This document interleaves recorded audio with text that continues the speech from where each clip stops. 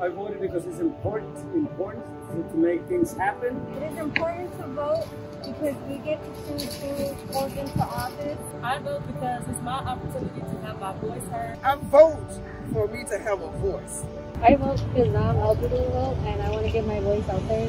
Each uh, vote counts if you want something uh, done for your community. I voted because your vote counts. It's, it's just the right thing to do. That's why I vote.